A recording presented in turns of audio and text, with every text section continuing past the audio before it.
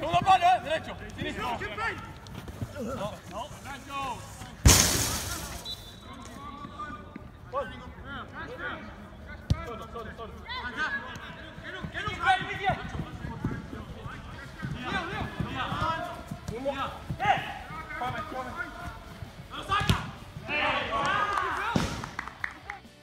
I've just pulled up on the drive at home. The game ended 1 0 to Bangor City.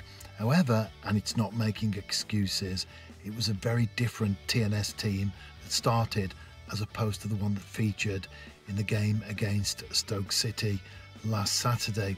In fact, just one player started the two games. That was the goalkeeper, Paul Harrison. And in the second half, in particular, our manager made a lot of changes, bringing on quite a few teenagers. However, having said that, well done to Bangor for their victory this evening and assuming the second tier of Welsh football does start at some point, all the very best to them.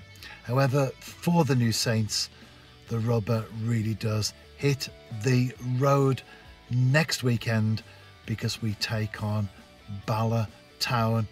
Well, this coming weekend, should I say, this coming weekend we take on Bala Town as the JD Cymru Premier restarts after a break of two months.